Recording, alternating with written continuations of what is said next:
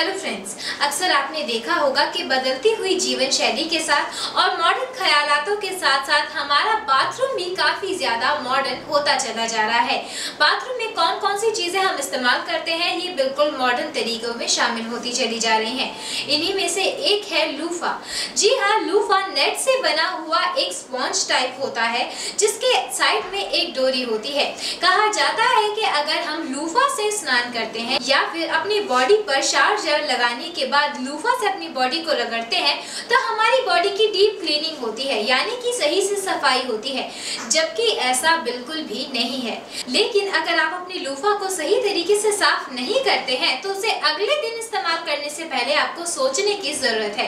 क्योंकि लूफा को जब भी हम अपनी बॉडी के ऊपर इस्तेमाल करते हैं तो हमारी बॉडी के जम्स साफ़ होते हैं।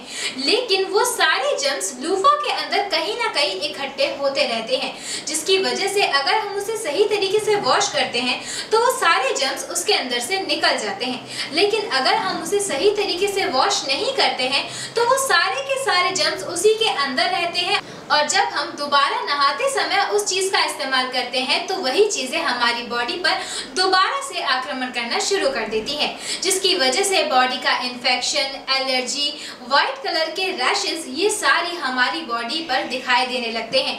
कई बार हमारी बॉडी पर लूफा सही तरीके से काम भी नहीं करता है। वैसे तो लूफा काफ़ी ज़्यादा सॉफ्ट होता है, लेकिन मार्केट में चीप क्वालिटी के लूफास भी अवेलेबल हैं, जो कि प्राइस रेंज के हिसाब से और वैसे भी काफ़ी काफ़ी ज़्यादा चीप क्वालिटी के होते हैं।